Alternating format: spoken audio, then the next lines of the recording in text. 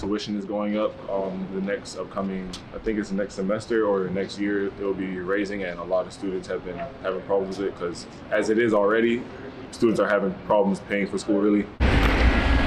College students around the region say it's a tough time to pursue an education if you don't have the financial means. For Axton Lindberg, Stanislaus State was the original plan until tuition prices became clear. I'm looking for full-time employment, looking for a job that offers tuition assistance because it's too expensive to go on my own. And with the interest rates on student loans being wildly outrageous also, I don't want to be sacked in debt for the rest of my life. Still, many say a degree is needed nowadays more than ever. With declining enrollment since the COVID 19 pandemic being a concern, many of our students ultimately stopped out during that time um, for a multitude of reasons. Um, they may have had to work more.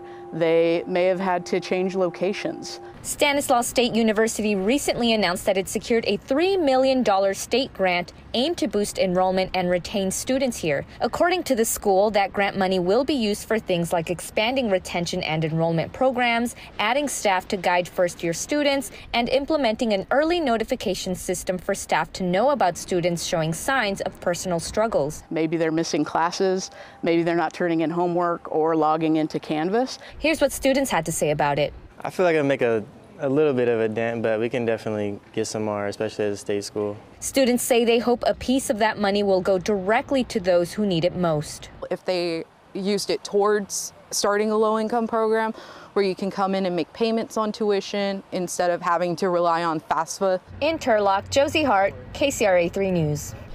This is a five year grant. Stanislaus State is also looking into mental health resources and opening what they call a Warrior Re Engagement Center, named for their mascot.